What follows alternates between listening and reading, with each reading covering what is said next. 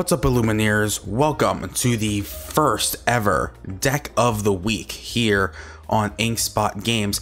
And kind of the point of this weekly series is instead of doing just kind of these random gameplay videos, um, I do want to kind of take more of a deeper look into the decks themselves. I've actually been getting some requests for that, so I figured let's make it a weekly thing. We'll do deck of the week, we'll focus on um, a deck. Could be a competitive deck, could be kind of a janky deck, could be just a fun deck, um, and really kind of dig into the strategy and what you want to do gameplay wise. Um, and maybe you're interested in picking the deck up. Um, and then we're also going to show some gameplay as well here on Pixelborn. So we're going to start deck of the week, the very first one, um, with the deck I'm actually playing right now for physical paper play, and that is Emerald Amethyst. Now, if you've been kind of following me on social media, all that, which, by the way, make sure you follow me on all my social medias Twitter, Instagram, all that good stuff. You know, I'm a big Emerald fan, and I think this works really well with Amethyst. And the kind of the game plan is very simple. Your Amethyst cards, um, kind of the point is to you have some good one drops in here um, with Olaf and Pascal, which gives you an evasive. Um, some decent removal with, with Rafiki, but it adds one thing that Emerald doesn't have, at least in the first chapter. Rise of Floodborn, we'll see. Uh, looks like, based on spoilers, there will be some more draw power. But for right now, um, Amethyst gives you a decent amount of draw power friends on the other side and Maleficent. So we don't have a ton of Amethyst cards here, but that's kind of the point of this engine. While with Emerald, it kind of has your typical Emerald cards that you would see in most Emerald decks. Um, there's a couple little techie cards in here that you'll run into for certain situations, but the whole point of the deck is to be able to draw cards to maintain advantage on your opponent while building up to be able to play your higher cost characters that leave more of an impact on the game. Um, Emerald is very kind of mid-rangey, um, but it can build up and you can uh, quest for a lot of lore at once if you're able to build that board. Um, but it has some good low-cost characters too, and not just high-cost characters. So we're kind of going we're to go through the card by card here, and I'll kind of discuss why the card is in here, why I think it's good for the deck, and what I want it to accomplish. So let's actually start at the bottom here with Amethyst to get out of the way. We have one Befuddle. Um, it's a piece of removal that like, if you get it turn one, cool. If you don't, it's not the biggest deal in the world. Like, it can deal with like a Lilo while Simba is a bodyguard and stuff like that. So one of these I think is just fine. Um, if you find it in the late game where it becomes more of a brick, it's inkable, so you can just use it as ink. So it's not the worst uh, thing in the world. We have three Olaf, and who's a one drop. And what I like about Olaf is that, sure, he doesn't have a lot of attack, but the three defense is actually can be really big in the early game, especially if your opponent drops like a 2-2 character or another 1-3 character. He doesn't die immediately, so Olaf will have some staying power in the early game.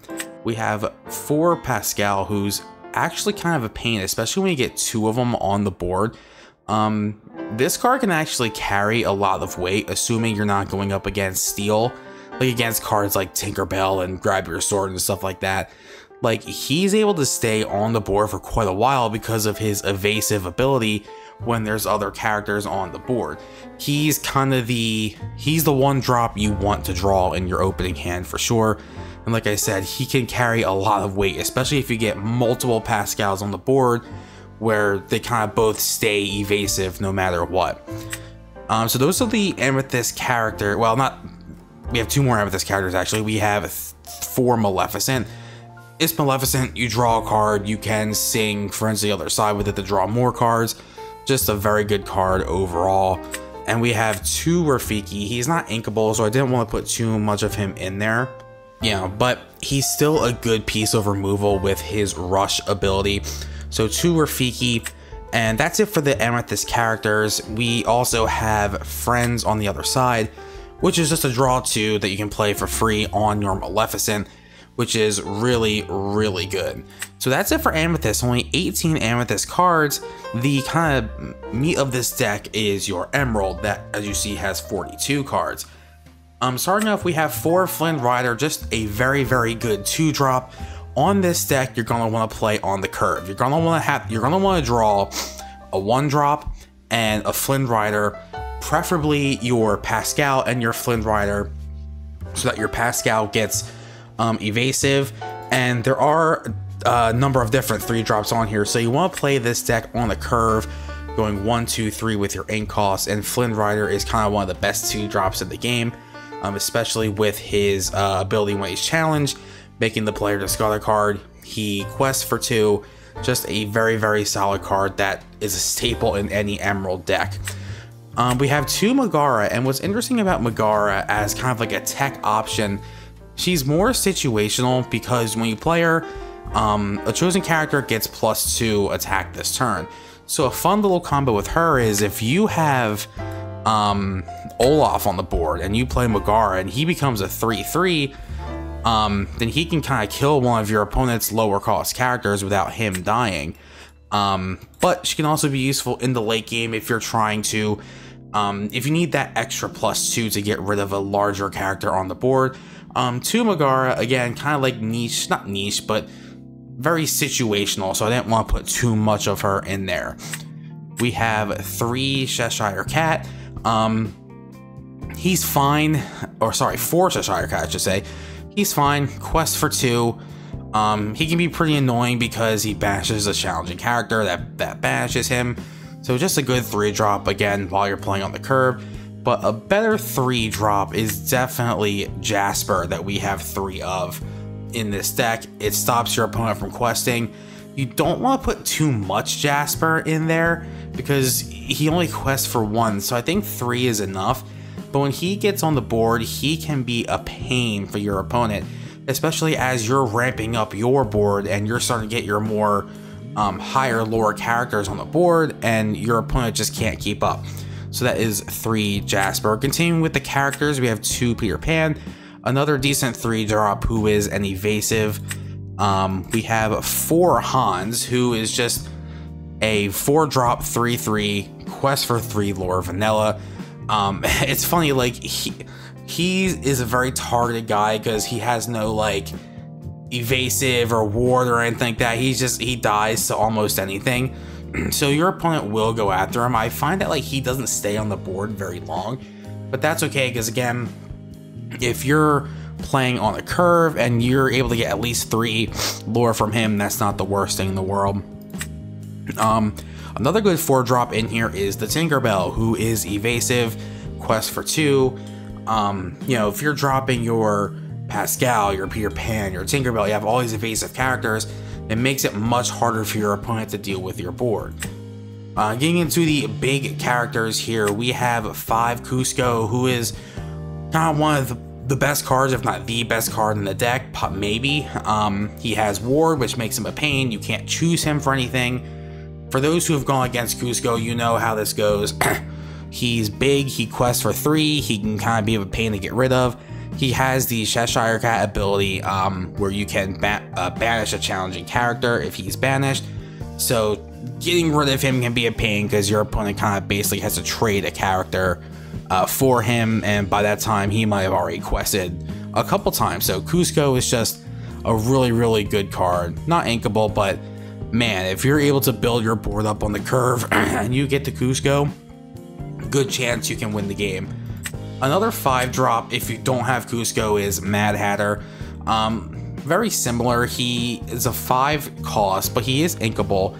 2 4 quest for 3, but his ability is when he, whenever he's challenged, not banished, challenged, he, he, you, you may draw a card, which, as you know, drawing cards in Emerald right now isn't that isn't that prominent, so he can be pretty solid. I find myself inking him if I draw him early, um, because I would much rather play Kuzco over him, but this is still a good backup plan.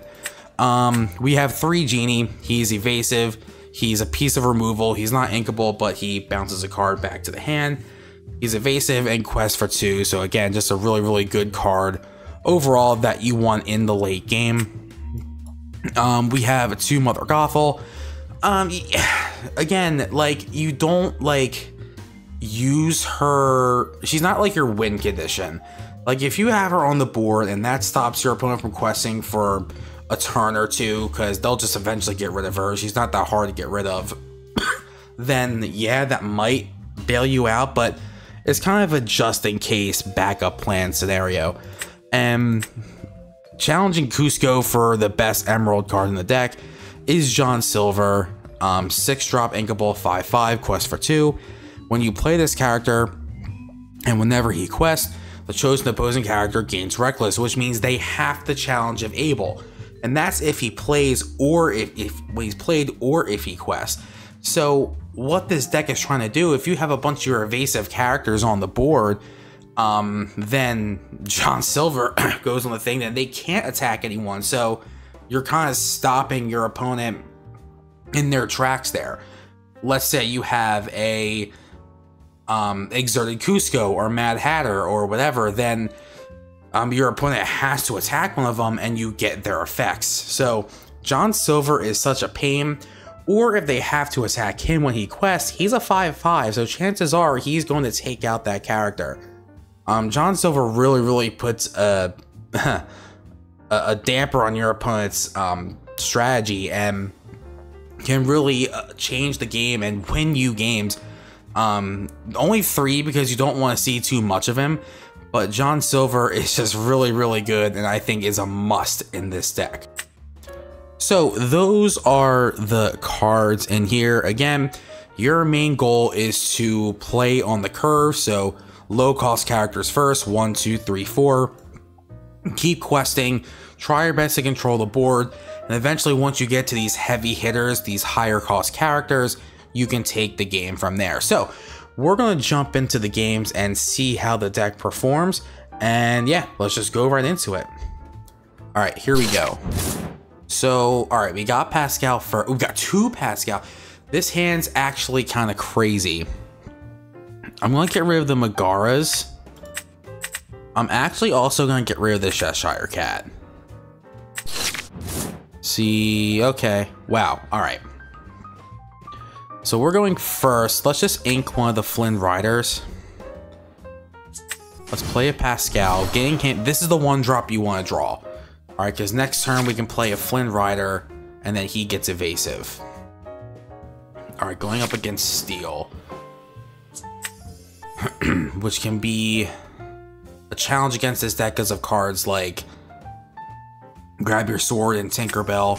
Let's play Flynn Rider.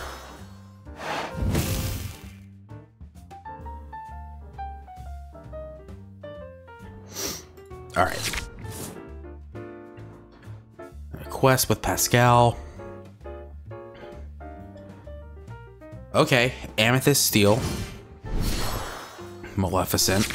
You know, I was considering Maleficent, but like, I don't know. I find that she dies too quick. She's not as impactful.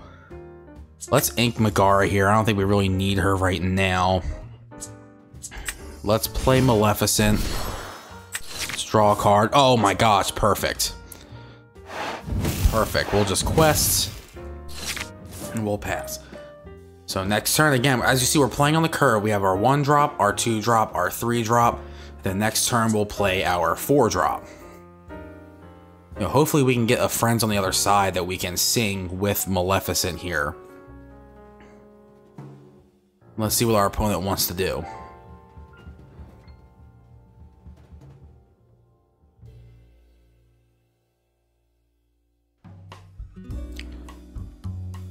Um, so I think next I think I want to keep this Mother Knows Best next turn.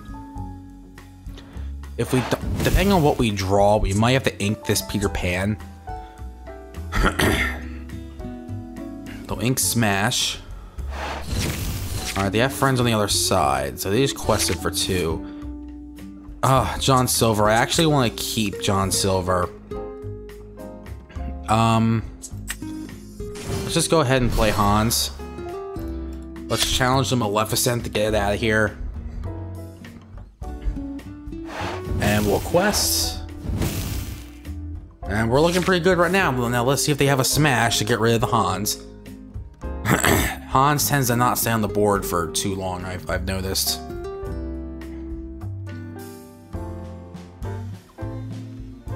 If I have to ink the Pascal, so be it. But then again, at the same time, we're not really in a situation where we need John Silver. Because we do have Mother Knows Best that we can just sing with Maleficent. They'll ink their Hans. Alright, so we have Big Tinkerbell coming. I might bounce that Tinkerbell back to hand.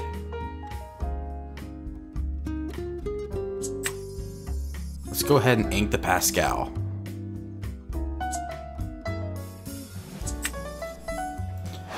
Let's Mother Knows Best to Tinkerbell so they can't shift the big Tinkerbell.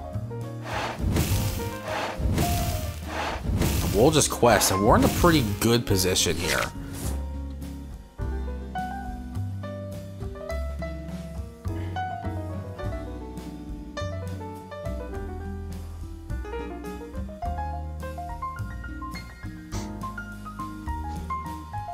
If we get an inkable card next turn, we can play John Silver.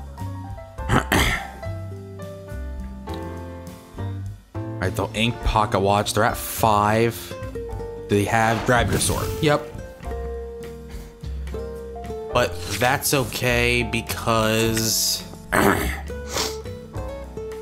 we'll just quest with Hans. We have game on board.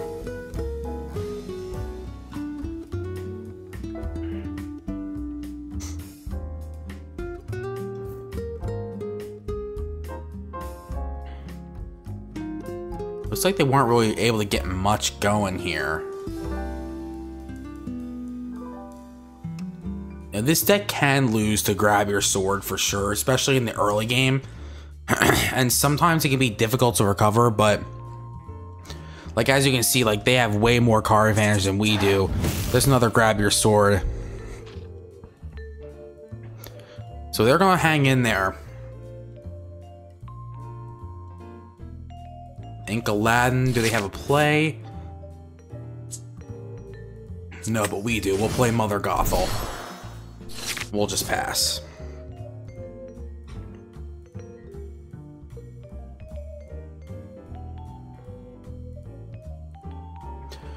Right, Mother Gothel is actually pretty good here.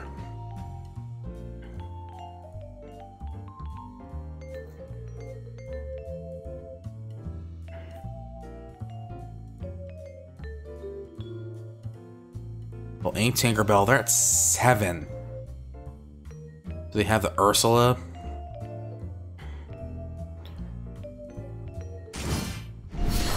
No, they have the Tinkerbell. That's fine. um... I mean... I'm fine with just questing.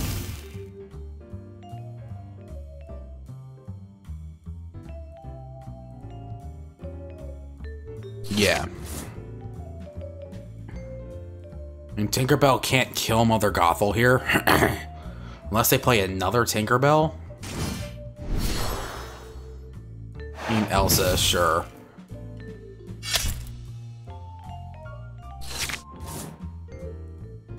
Um...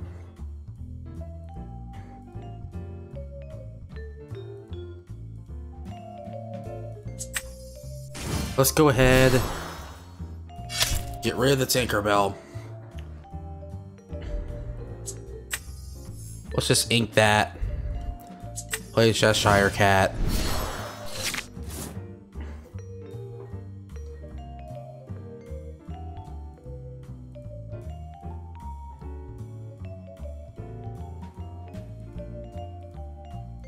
I imagine they take out the Mother Gothel here. Do they have another Elsa? Maleficent.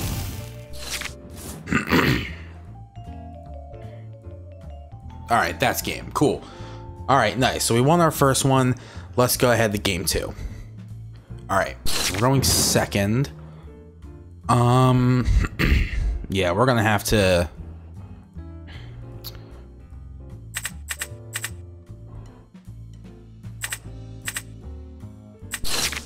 Some major. Uh, uh, uh. All right. Um, this hand ain't great. This hand is not great. Okay, there's Flynn Rider. Let's just pass.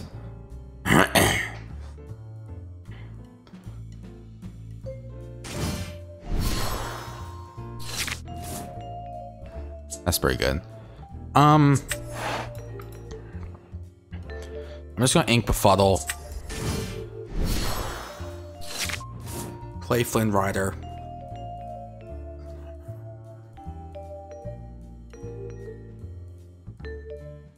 They're gonna ink Maleficent. Ooh, play a Jafar. Okay. Um.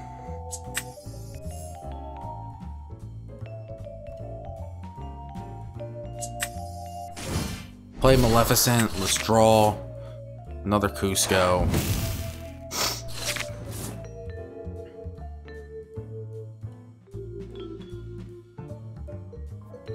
Quested for two.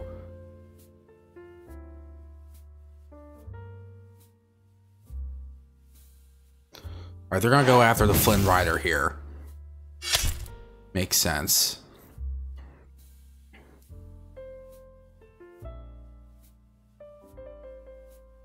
Ink Stitch. Okay.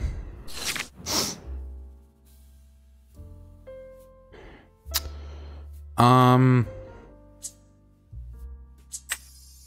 Ink Cheshire Cat. Let's friends on the other side to draw two.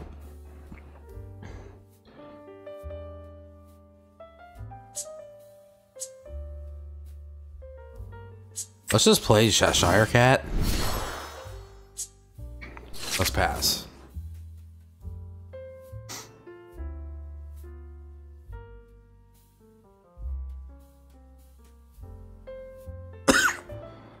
So I kind of want the plan here to be we ink Hatter to play Kuzco. So Maleficent's gone. That's fine. They drew with Queen. this one kind of got off to an awkward start.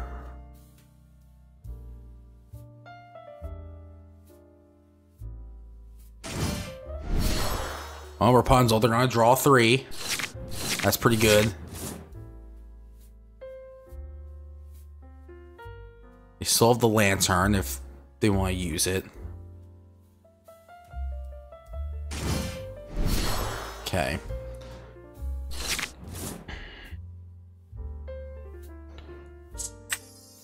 Let's ink Hatter.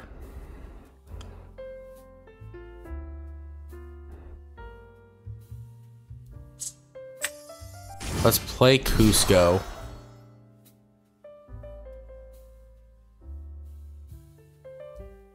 Um, let's quest for two.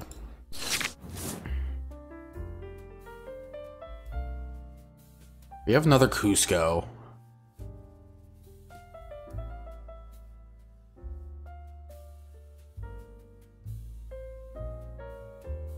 Ink Maleficent. They're at six.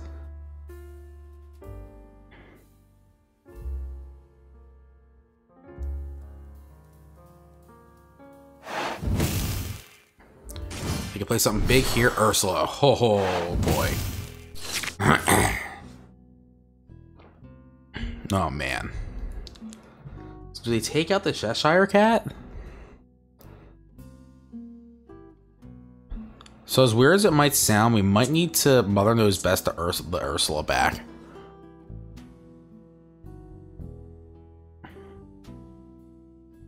I know like they lose we lose the lore and they draw, but like they're thinking.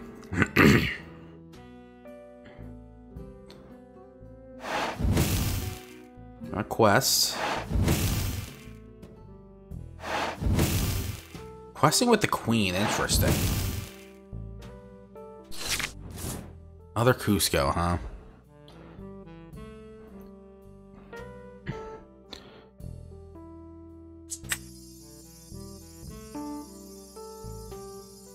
Or do we Jasper? No.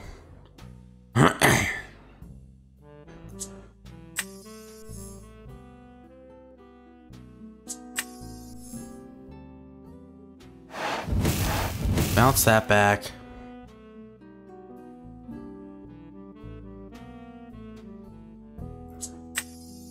Let's play Rafiki. Let's get rid of the Stitch.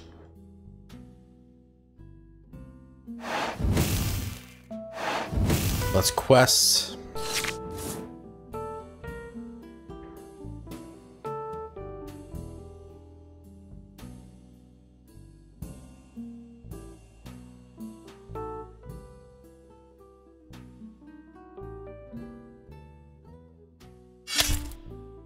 Alright, they go after the Kuzco. so Jafar's gone.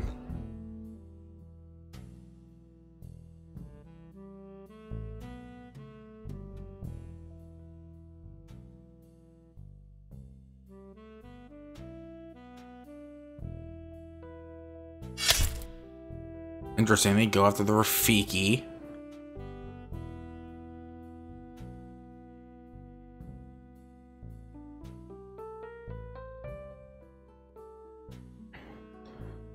Ink Maleficent. Play the Ursula.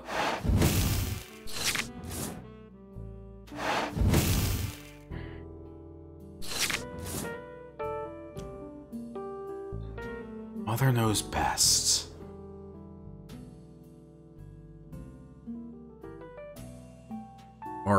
Mother Gothel, rather.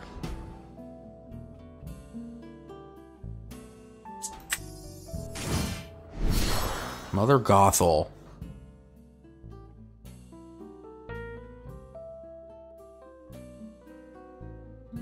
Do we get rid of the Ursula again?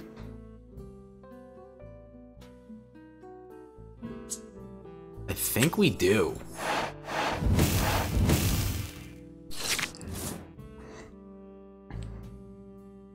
Like, I know we lose lore, but...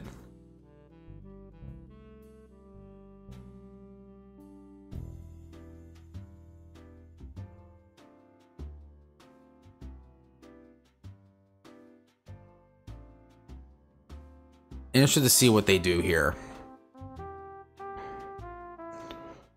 They have plenty of ink.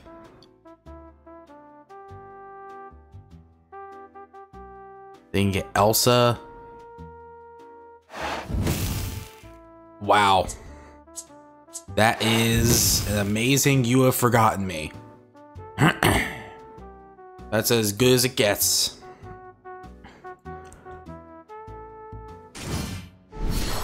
Jafar.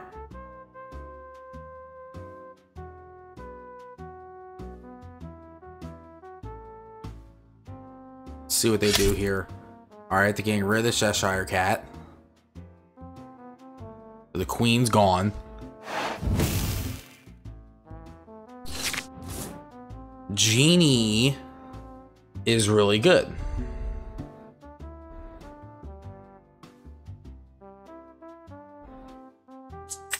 Genie is really good. Let's quest. Now they can't quest. Oh, that you have forgotten me is kind of a killer. Eating the Stitch.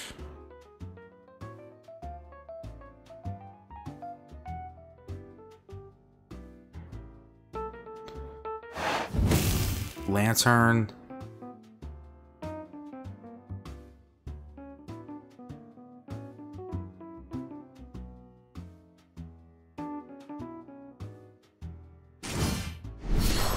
Play the Ursula. Kind of figured.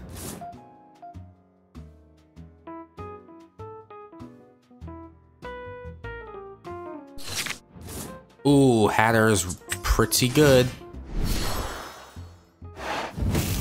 Let's just quest. Make him get rid of him.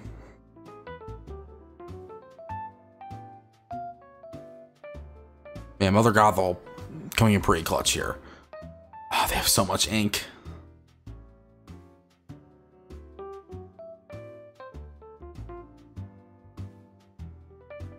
We don't have game on board, which is frustrating. Oh. Yeah, it was bound to happen.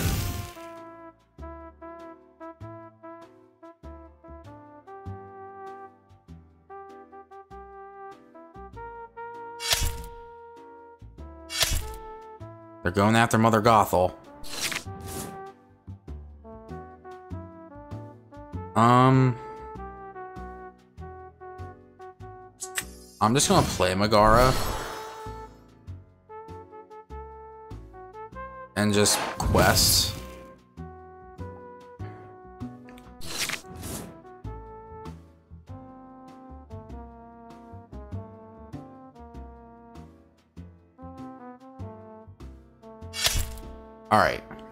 Gothel's gone. So they can quest.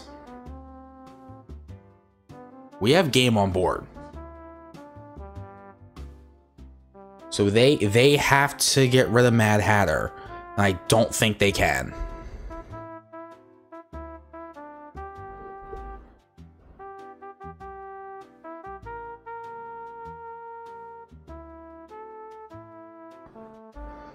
They have anything crazy in their hand?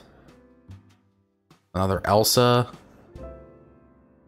Another Ursula?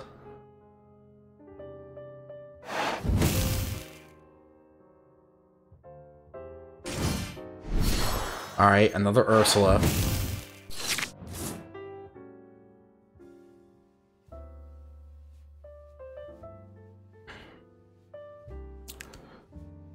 Now this puts us in an interesting spot.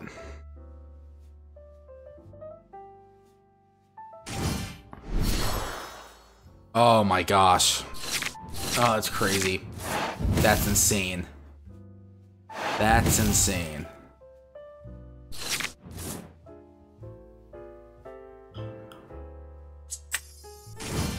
Because they have very much game on board. Oh, man. They had the last Ursula. They had the last Ursula. Oh, that's so frustrating.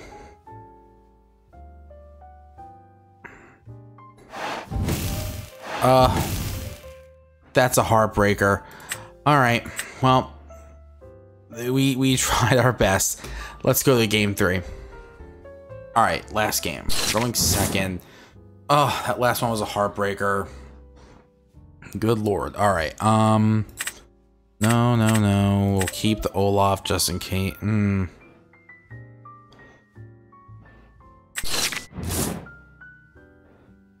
Eh.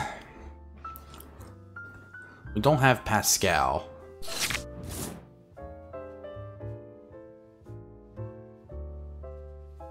Um, let's ink the Tinkerbell. Let's play Olaf. Let's pass.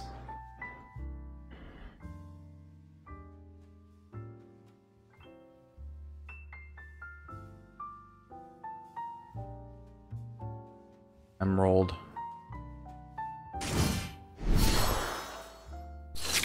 Okay. We got Ink of Friends. Play a Flynn Rider. Quests pass.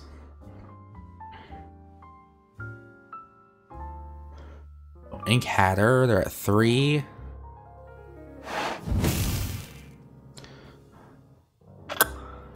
Fire the cannons.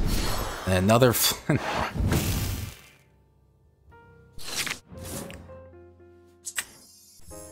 Okay, so we have to...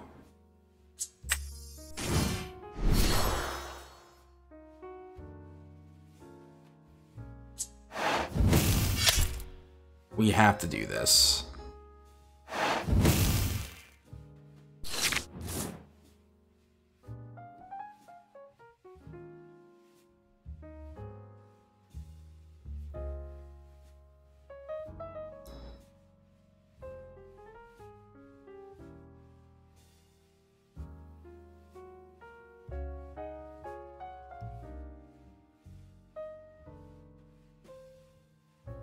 Ink Hans, they're four. Smash.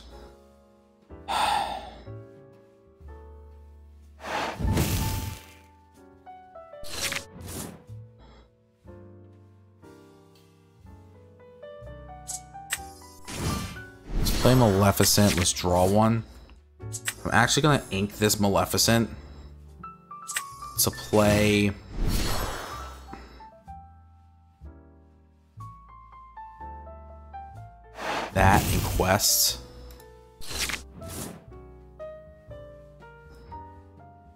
So we have friends on the other side online for next turn.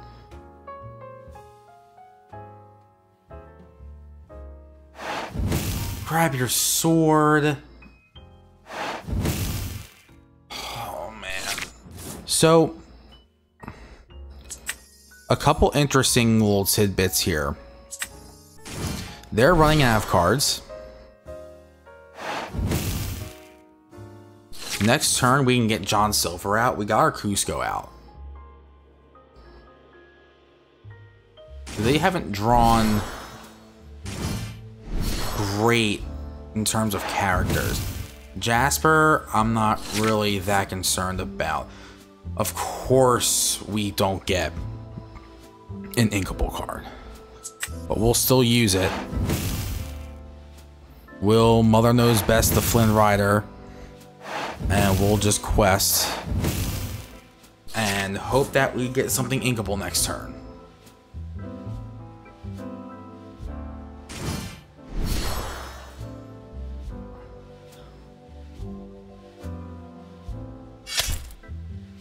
Huh. Thank you. All right, so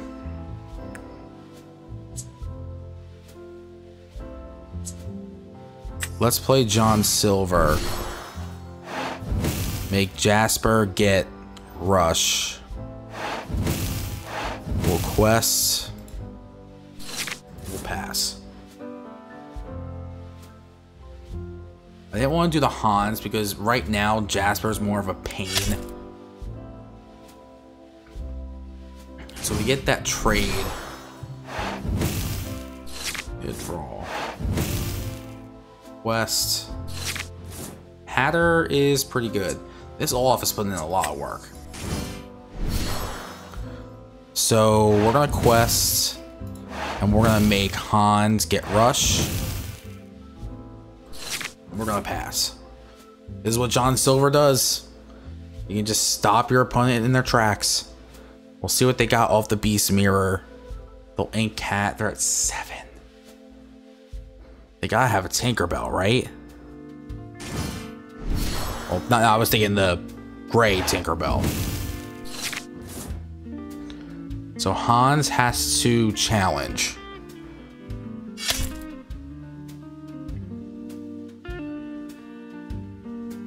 He's gonna challenge the John Silver and he's gonna die. and we're gonna win. Awesome. All right, so there we go. Um, we took the win on that one. So yeah, um, as you can see, this deck is like far from perfect. It's like the third, fourth, not third, like fourth or fifth best deck maybe. Like when it gets going, it can be hard to stop just because like you have so many different characters you can put on the board that can quest for a lot of lore. But if you find yourself in a situation where your opponent is just outpacing you, um, you can lose, like we saw in the second game.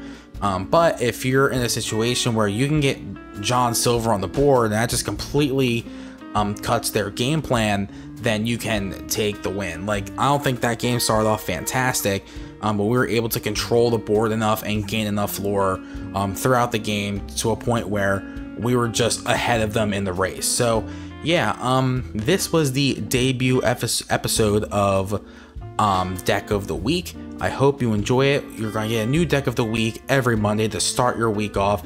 So I hope you're looking forward to that. And Illumineers, I'll see you on the next one. Later.